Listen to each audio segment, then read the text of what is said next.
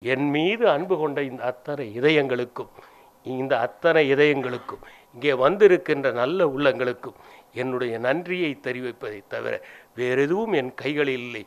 ஏனென்றால் நான் எப்போதும் வெறுங்கையோடு இருப்பவன். நன்றி வணக்கம்.